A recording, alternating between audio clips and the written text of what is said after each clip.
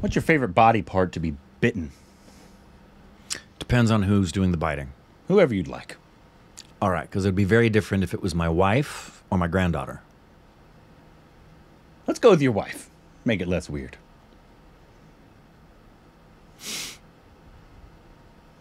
Ear. The ear. You? That's personal.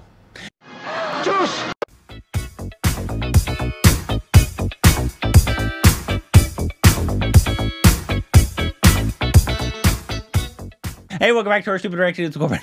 I'm Rick. You can follow us on Instagram, Twitter for more juicy content. Okay, but don't more juicy content. Thanks on Patreon. So for account. Subscribe if you haven't. Hit the like button. Hit it right in the anus. Patreon's got juicy stuff too. We talk about Instagram and Twitter, but the juiciest stuff is without question on Patreon, The juiciest stuff is in your butthole. especially for. I mean, really for both, because there's a lot of OSR stuff that never goes anywhere, Ugh. and there's a ton of stuff I don't do on social media anymore, but I do on my Patreon. So that's where the juice is. this is a- that's where it's dripping out of holes. This is a informational video. This is how the universe was created according to Hinduism. How the universe was created, according to Hinduism. Do you obviously are you familiar with how the um, Hindus believe the universe was created? Because I think we've seen stuff with like the multiverse. We have. obviously now with Brahmastra, there's a lot of like Astra stuff. Yeah, and I- uh, I don't know if that has anything to do with it. and if I'm not mistaken, there was part of that, the story of that um, was revealed in a little bit of that was in Life of Pi, visually. How And the then- universe was created. Yeah, and then there was another one. We just saw one where they showed it coming out of the mouth. What was that? What? What are you Maybe it was in? Sacred Games. something was coming out of somebody's mouth. Yes, yes, that the universe was formed out of a god's mouth. Or it's you go into the god's mouth. I guess we'll find out. Different though in like the Judeo-Christian speaking it into existence. Yeah. Yeah. So it literally came out of something. That's something you remember?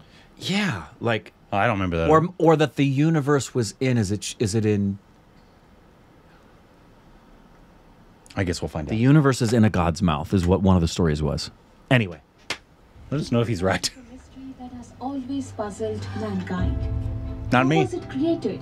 And who is responsible for creation? Amitabh Bachchan. In Hinduism, there are many theories about how the universe was created in the earliest days. Let's explore some of them. Oh, Ranveer. In Hinduism, the universe is not one single entity. There are an infinite number of universes Mhm, that yes. are constantly being created Know that. and destroyed. In other words, we live in a universe that belongs to a multiverse. Mm-hmm. A universe will ultimately die, but the multiverse lives on. Lord Vishnu Thanks, is Doctor Strange. personification of this multiverse. According to Hinduism, Lord Vishnu was asleep in the cosmic ocean of all causes before the creation of the universe. His bed is a giant serpent with thousands of cobra like hoods. The universe was created in a triad of roles creator, maintainer, and destroyer. Lord Vishnu is the maintainer. Lord Brahma is the creator. Shiva's the Lord destroyer. Shiva's the Shiva is destroyer. destroyer. The universe was created through the actions of Lord Vishnu, who slept and let a lotus bloom from his navel. The Was it a navel? No, that- I've represents never the heard that. Creation of the universe, while Brahma is found at the flower's center and represents the creator. The time it takes for one universe to be created and the next one to end is also the duration Hmm. of one breath of Lord Vishnu. Is that When it? he exhales, thousands That of is. universe come into Yes, being. out of his mouth. New Brahma is born in each one. I thought you were crazy. But when Lord Vishnu inhales, all universes get sucked in and Brahma dies. Hmm. Lord Brahma represents the universe that we live in. He creates all life forms and is responsible for the physical world that we live in. Lord Vishnu is the personification of the eternal multiverse. He is responsible for the continuation of life in all universes. Hmm. Brahma is the representation of our temporary physical universe, while Vishnu is the representation of the eternal multiverse that exists forever without any beginning or end. The current universe represented by Brahma is not permanent. In fact, it's quite temporary. Brahma only lives for 100 years and then he dies and a new universe will be born. Now, let's talk about time measurements. Brahma lives for 100 years and each year of Brahma Earth years, I assume. 360 days. Okay. And we are currently on the first day of the 51st year of his reign. There are day and night. During the day, Brahma creates life, and during the night, all life he created is absorbed back into him. Therefore, we will only be there for this day of Brahma, which is the first day of his 51st year. But don't be sad. Let me promise you that this is quite a long day.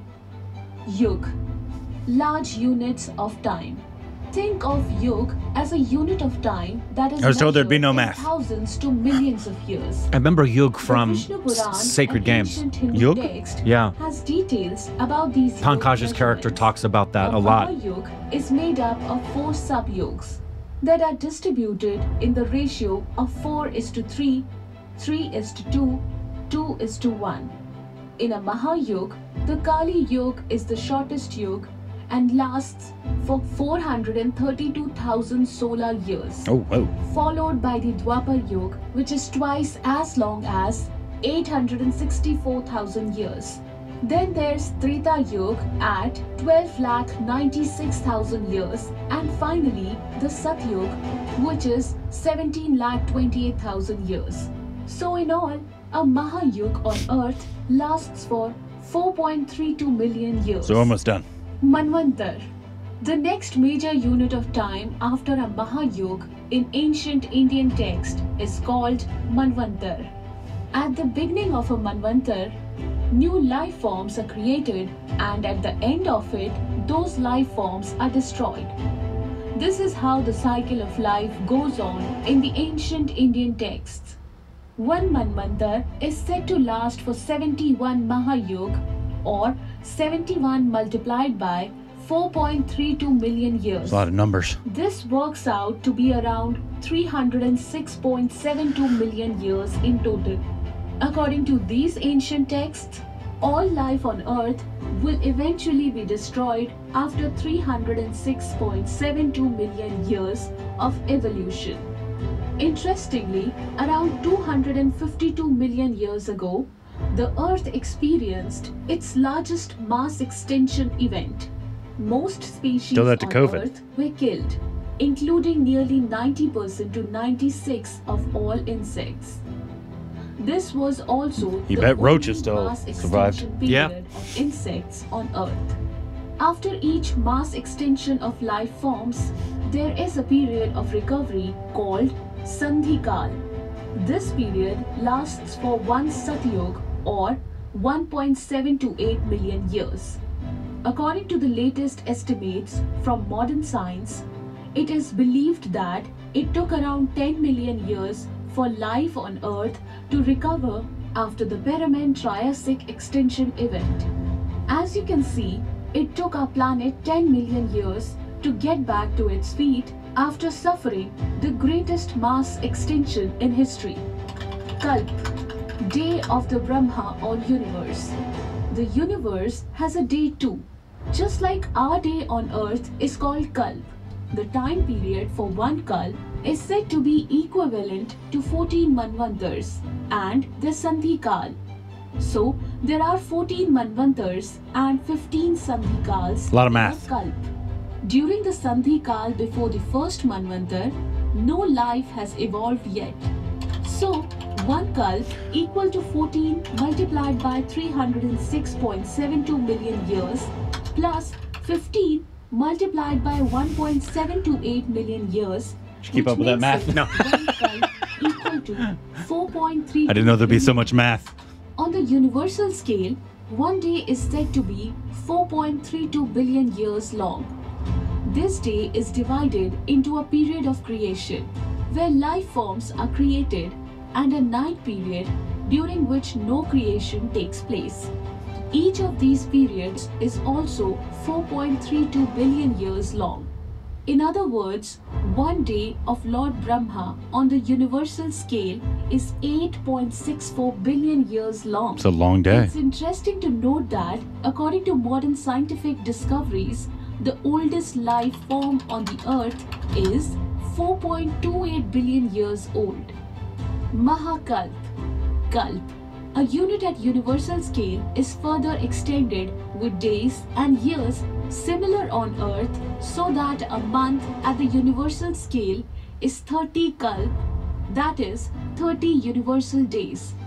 And a year at the universal scale is 12 I am such universal Long months. gone lost. This enables life forms to rise and fall in accordance with the karma they have earned. On the universal scale, 100 years are defined as the lifespan of a universe. This is called a Mahakalp.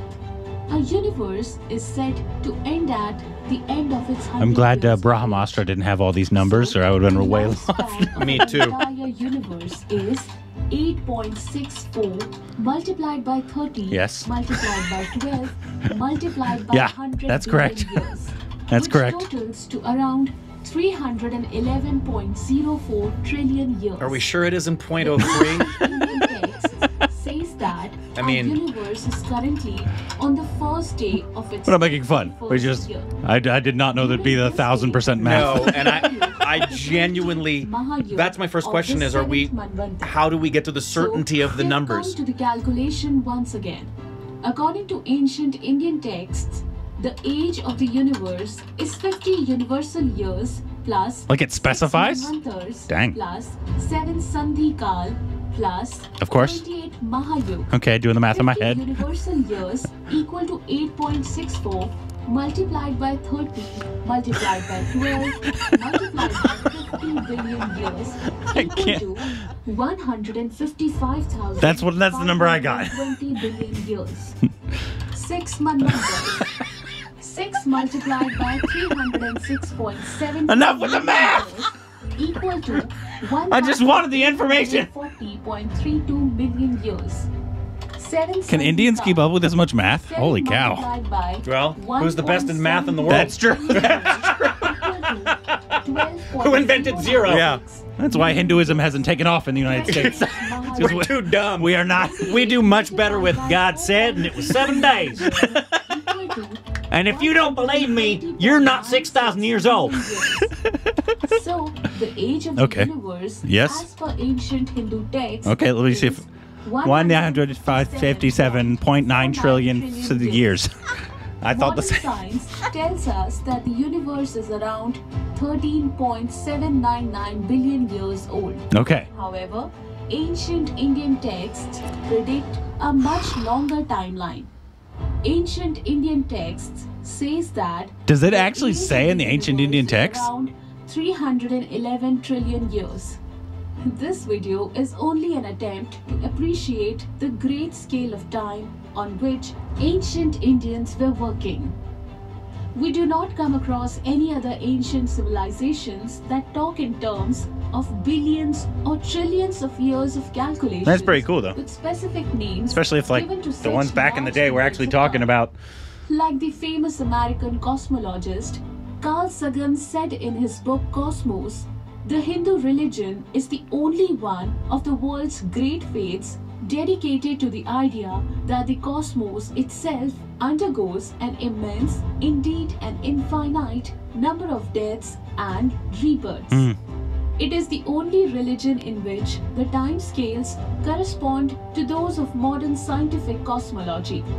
Its cycles run from an ordinary day and night to a day and night of Brahma, 8.64 billion years long. Longer than the age of the Earth or the Sun, and about half the time since the Big Bang. Thank you so much, guys, for watching this video. If you like, I didn't understand any of the math. So Yeah, I'm not ma- gonna, yeah. not gonna touch that. I Yeah. you could have said any numbers, and I was like, okay, cool. I I did not keep up with the numbers. I can't. My brain is too dumb for that. Uh, but I'm surprised that you got. I, I thought you were just crazy about Yeah, the about things coming out of his mouth. Yeah, I thought you were just crazy. Like, you just remember you're you're thinking about a different mouth there, Rick. Uh, but apparently you were correct. Yeah. Um, if if the ancient texts actually talk about all those numbers, that's pretty crazy. Well, I'm, I'm sure it does. Number one, and number two, what I appreciate is the fact that it does. I, I've always had a hard time with human beings doing everything they can to make the incomprehensible comprehensible. Uh, it should be incomprehensible. Not to me. Yeah, I mean it. The the the we cannot comprehend the infinite. We just can't. I can. The closest we can come to comprehending the infinite is a number line. That's it. Other than that, What about a dance line? no, that, that's finite. That's finite. Number lines are infinite. That's why when somebody say they can't, they don't. Like I have people throughout my life, especially when I was pastoring, talk about the fact that how can God always be? He says, well, numbers always are. You don't. You don't. There's. there's I don't have any problem at all with something always having it, eternity in its existence because there's eternal negativity on a number line and there's eternal positivity on a number line. That has no end, and nothing repeats. Um, but that's my favorite thing about this is the incomprehensibility of it, and Especially all those numbers. I also love the the the Lot of prospect of it being it, not just infinite in its scale of time measurement, but infinite in its term of. I mean, they didn't get in involved into this aspect of it, but we're just talking about the physical realm. We're not even talking about the invisible realm, Mm-hmm. Yeah, yeah, and yeah. and like. 75% I think it is of the known universe is upheld by dark matter which we just assume is there based on the results we see of it. Mm. We can't really measure it. So it, it's that was yeah but when you came down to the specifics of this times this times this the only class i ever failed in my life was algebra when, when it comes to numbers like that my brain goes And sex ed. You failed that one too. Uh we didn't have sex ed when i was a kid Yeah, exactly. yeah we didn't you didn't need to teach it And Johnny school. just said that explains a lot. Uh, anyways, didn't, didn't need to teach it in school when i was a kid because we had parents who did that really well? What, what are you talking about? No, my dad, my my dad mom and dad, my mom and dad taught me very healthily and well how to appreciate human beings as sexual beings. Ew. Uh, you can teach. You can. Well, that's one of my favorite things was to know that my kids were having a healthy sex life. I want my kids Go back to the numbers. I want to hear more about the numbers. enjoy the fullest extent of experience in life. I hope all of my kids are experiencing the greatest orgasms known to man. And if that makes you feel weird, I'm I'm I'm sorry why you wouldn't want the best for your kids. I just don't want to hear you talk about it. You weirdo. You don't like my orgasms? No.